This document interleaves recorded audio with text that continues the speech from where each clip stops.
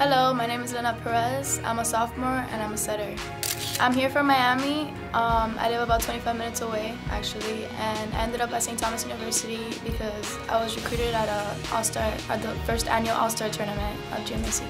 My favorite things to do here in Miami are go to the beach, like anybody that lives here in Miami, and just play basketball, longboard, things like that. My favorite thing about this year's team is that we're all coming together as a family and I can really see us being really close and I'm looking forward to it.